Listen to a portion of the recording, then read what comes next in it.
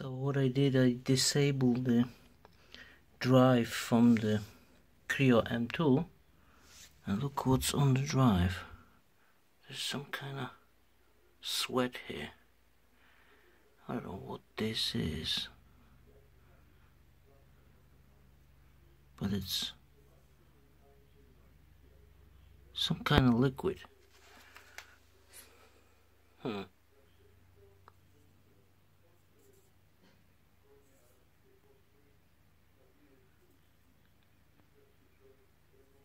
I have no idea why this drive is so wet. Look. Some kind of glue or what? It's from this pod. Okay. I hope this drive is still working.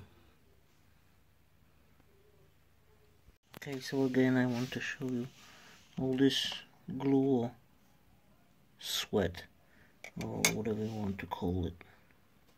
No idea what this is.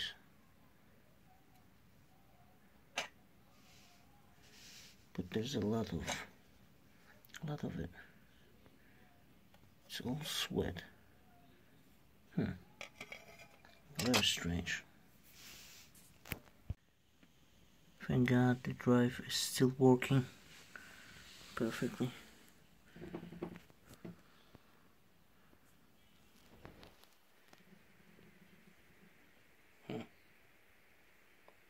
I'm very curious what that was. Very strange.